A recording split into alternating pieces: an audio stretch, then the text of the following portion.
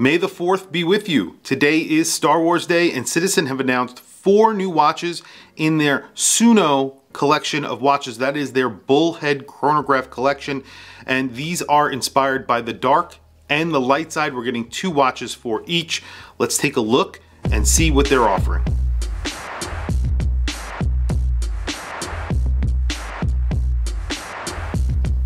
So as I mentioned in the intro, today we're getting four new watches in the Star Wars collection.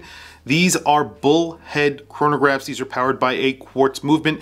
There are two from the light and two from the dark side. The two from the light side are our favorite droids, R2-D2 and C-3PO. So according to Citizen, the R2-D2 watch has a raised design echoing the panels on R2-D2's body, and the white dial is accented by R2-D2's distinctive blue and red. The sub dial at the 6 o'clock position also has a miniature R2-D2. The C-3PO version gets a dial that features C-3PO's gold color and a dual layered structure provides an almost three-dimensional version of C-3PO's face. The sub dials or the eyes feature a lume that glows in the dark. So the actual subdials of this chronograph will glow in the dark and look like C-3PO's eyes, which glow with a little bit of light. Pretty awesome. Then there's the dark side. We get Darth Maul and Darth Vader. So the Darth Maul incorporates the distinctive red and black of Darth Maul's face and his yellow horns on the dial, the pushers, and the crown. The watch evokes the powerful and dangerous nature of Darth Maul with a colorful, eye-catching design. Then there is Darth Vader.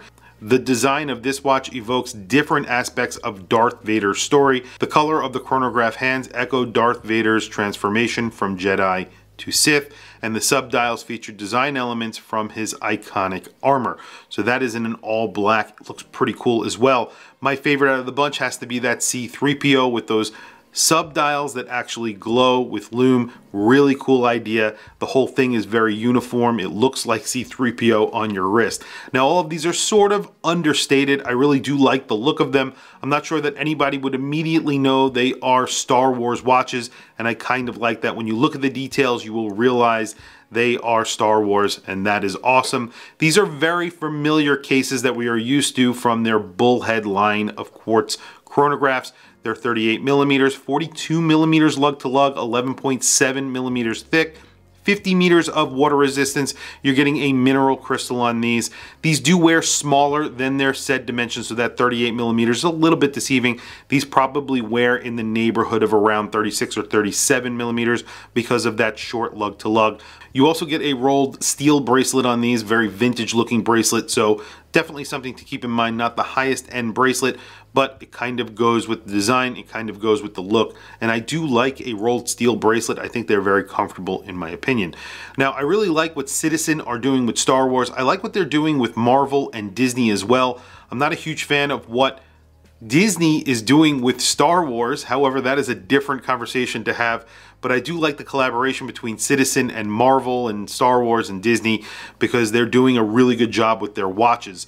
Uh, and I like the direction that they're going in. Not, not that I could say that for the Star Wars franchise, unfortunately. But like I said, I do like these watches. Tell me what you guys think down in the comments below. I want to hear from you guys. What do you think of these watches?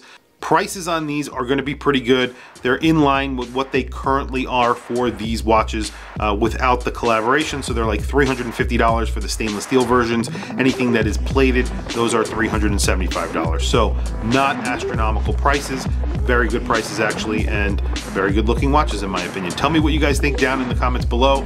Happy May the 4th. May the 4th be with you. Uh, if you are a Star Wars fan, you know what I'm talking about. If you're not, then uh, I'm sorry, and uh, hopefully you enjoyed the video anyway. Thank you for logging on. I'll catch you guys in the next video.